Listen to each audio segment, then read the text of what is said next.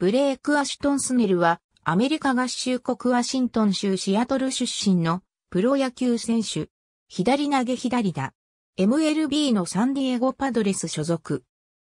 愛称はジラ。シアトル出身。父親のデーブは元マイナーリーガー。スネルは高校のシニアシーズンに63イニングを投げ、9勝、0敗、防御率1.00、128奪三振を記録している。2011年の MLB ドラフト1巡目追捕でタンパベレーズから指名され、6月16日に契約。契約後、参加のルーキー級、ガルフコーストリーグレーズでプロデビュー。11試合に登板して1勝2敗、防御率3.08、26奪三振を記録した。2012年はアパラチアンリーグのルーキー級プリンストンレイズで11試合に先発登板して5勝1敗、防御率2.09、53奪三振を記録した。2013年は A 級ボーリンググリーンホットロッツでプレーし、23試合に先発登板して4勝9敗、防御率4.27、106奪三振を記録した。2014年は A 級ボーリンググリーンで開幕を迎え、8試合に先発登板して3勝2敗、防御率1.79、42奪三振と高騰した。5月29日に A 級シャーロットストーンクラブズへ昇格。16試合に先発登板して5勝6敗、防御率3.96、77奪三振を記録した。2015年は A 級シャーロットで開幕を迎え、4試合の登板で3勝、0敗、防御率0.00と完璧な投球を披露し、4月27日に AAA 級モンゴメリービスケッツへ昇格。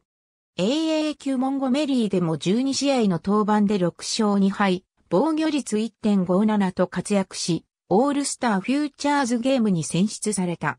7月20日にトリプル A 級ダーラムブルズへ昇格。トリプル A 級ダーラムでは9試合に登板し、6勝2敗、防御率1.82と高騰。マイナーリーグ機構のスタッフが選出する最優秀先発投手に選ばれた。オフの11月20日に、レーズとメジャー契約を結び、40人枠入りした。2016年3月15日にトリプル A 級ダーラムへ移動し、そのまま開幕を迎えた。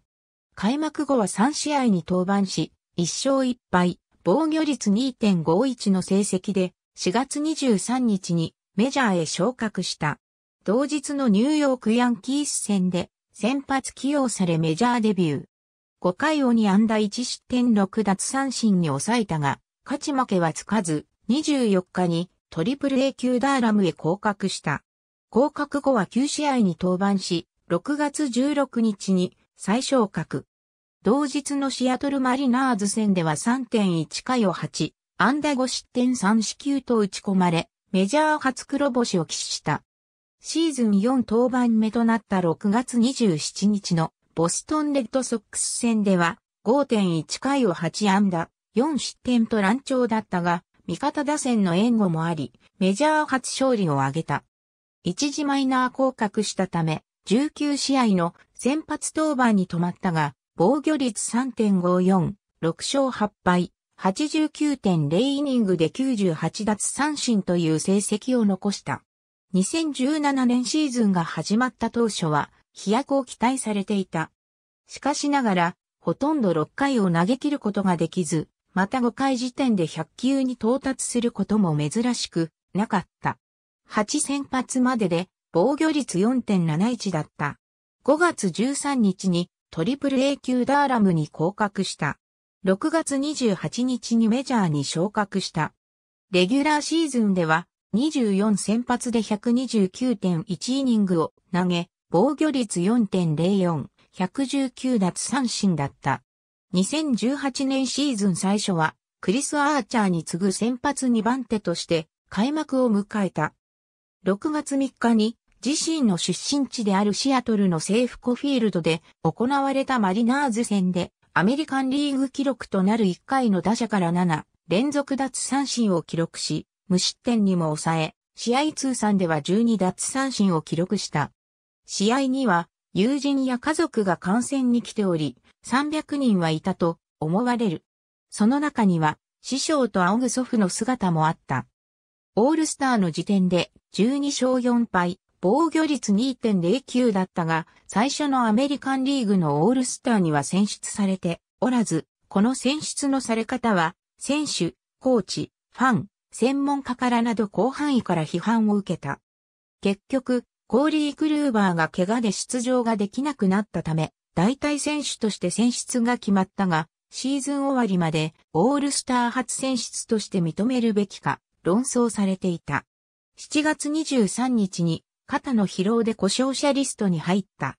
8月4日のシカゴホワイトソックス戦で復帰した。8月には5先発で4勝0敗、防御率1.08を残し、ピッチャーオブザマンスを受賞した。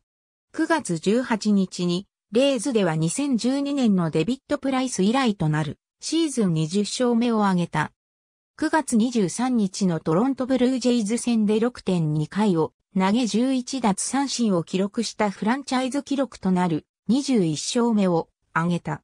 9月には6先発で35.2イニングを投げ5勝0敗、防御率1.26、53奪三振を残し8月から続けてピッチャーオブザマンスを受賞した。最も若く最多勝利を受賞した投手の中で、連続的にピッチャーオブザマンスを受賞したのは、2004年のヨハン・サンタナ以来だった。レギュラーシーズンでは、21勝、エラプラス219、被打率178、防御率1.89、ウォー7.5と自身最高記録を残した。また、防御率1.89はアメリカンリーグにおいては2000年のペドロ・マルティネスの防御率1.74に次ぐ防御率だった。指名打者制を取り入れた1973年以降のアメリカンリーグでは歴代3位に入る。31先発中27先発で2失点以下に抑え、21先発で無失点もしくは1失点に抑えた。プレーオフに進んだチームとの成績は防御率2.00、9勝2敗だった。残塁率も88.0%とメジャートップだった。12月14日に2位となるジャスティン・バーランダーから15ポイントも差をつけてサイヤング賞を受賞した。また30人中17人が1位に指名した。レーズで最多価値を受賞したのは2012年のプライス以来2人目だった。2019年3月21日、5年総額5000万ドルの複数年契約を結んだと発表した。シーズンでは比較的良い滑り出しだったが、自宅の風呂場で右足薬指の骨折して4月16日に10日間の故障者リスト入り。6月24日に復帰するも、8月29日に左肘の有利体除去手術を受けることが MLB 公式サイトで公表された。9月17日に復帰後は3先発を、各2.1回未満の登板で、ポストシーズンに突入した。オールズでは、キャリア初となるリリーフとしても登板した。2020年は、新型コロナウイルス感染症流行の影響で60試合の短縮シーズンに、延期期間中には、全39団の選手代表がテレビゲーム MLB ザショーで戦ったプレイヤーズリーグにレーズ代表として参戦し、圧巻の強さで優勝した。シーズン成績は4勝2敗、防御率3.24で、7冒頭はリーグワーストタイだった。ポストシーズンでは2勝2敗、防御率3.20で、ワールドシリーズ進出に貢献したが、最長5.2回と投球回は少なかった。WS でも大手をかけられた第6戦に先発して5.1回、1安打無失点の回答を見せるも、自打者に単打を許すと、わずか73球で降板。後続が打たれて、チームも敗退したことからこの早期降板は、議論を呼んだ。2020年12月29日に、ルイス・パティのフランシスコ・メヒア、ブレーク・ハント、コール・ウィルコックスとのトレードで、サンディエゴ・パドレスへ移籍した。当初、背番号は24と発表されていたが、開幕直前にレーズ時代と同じ4へ変更された。それに伴いウィル・マイヤーズは4から5へ、ブライアン・オグレーディは5から24に変更された。メジャーでは最速100マイルパーアワー、平均95.7マイルパーアワーのフォーシームを軸に平均85マイルパーアワーのチェンジアップ、平均76マイルパーアワーで落差の大きいカーブ、平均83マイルパーアワーのスライダーを使用する本格派左腕。細かいコントロールやスタミナには課題が残る。背番号4は自身が4日生まれであることに由来する。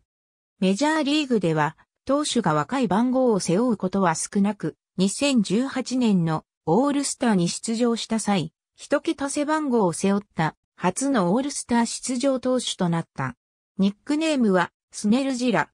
スネルとゴジラを掛け合わせたもので、もともとは兄のニックネームだったが、自分の方が似合っているとして強引に継承した。ゲーム好きであり、自宅には大量のゲーム機器やモニターがある。